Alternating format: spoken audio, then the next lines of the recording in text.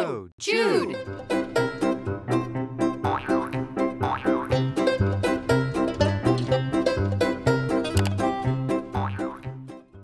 Jude, I hear you're uh, taking a trip to Paris soon. Yeah, huh? Gonna go next month. Got some time off. Thought we'd go over to the City of Light. That's fantastic. I was just there, you know, we had a great time. Let me show you, got these some photos. photos? Yeah, yeah, yeah. You got to go to these places. I'm telling you right now, they were totally awesome. Look at that. So pretty. And that is a beautiful shot. And now, where did you take that? I want to go see this for myself. I took that shot. I'll tell you exactly where I took it. I took it in uh, Paris. Okay, big city. Uh, narrow it down a little bit. Uh, Um, left bank, right bank. Pretty bank.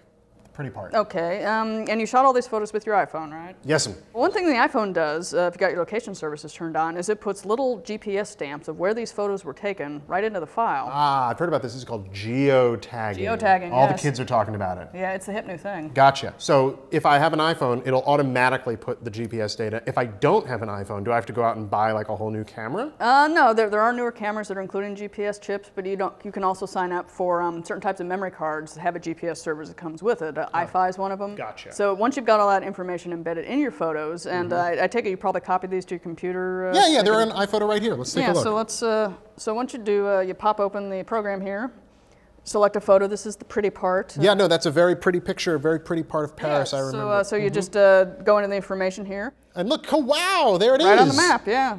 Crazy, it's like the Bourne Identity or something over here. It's very high tech. And uh, you can even find more information about it if you go in here to extended photo information here. So you get the longitude and the latitude. Uh, I'm always telling people where I am based on latitude and longitude. I'm Mm-hmm. like 37 minutes, 12 seconds, 4 degrees. all your cartography friends love it. Don't Yeah, They? exactly. All my master and commander friends. So you get all this stuff in the file. And uh, one of the good things is that it stays in the file. So even if I send the photo to a, email the photo to a friend or put it up on Flickr. Yeah, you put it up on Flickr, it shows up on your Flickr map. Now, what if I have older photos that don't have the geotagging information? Can I actually go in and add that in now? Yeah, you can add that in a number of photo programs to support geotagging, so you can pin them to a map. You just have to know, roughly know where you took the photo.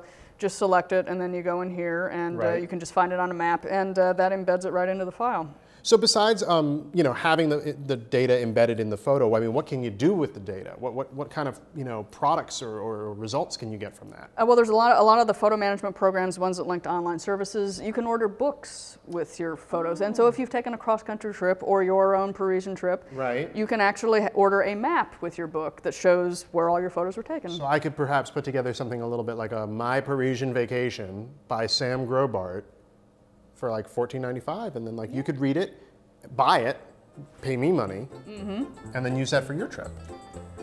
Maybe, but if you had one on sale or maybe a used copy, it's cold.